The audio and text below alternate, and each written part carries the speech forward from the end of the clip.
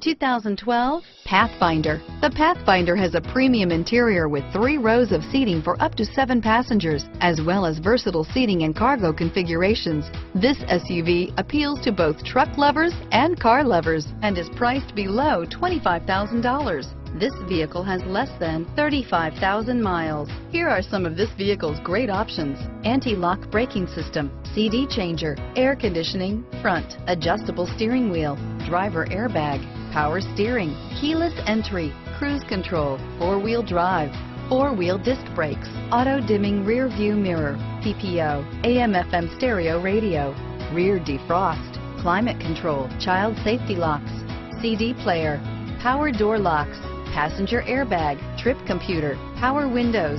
Come see the car for yourself.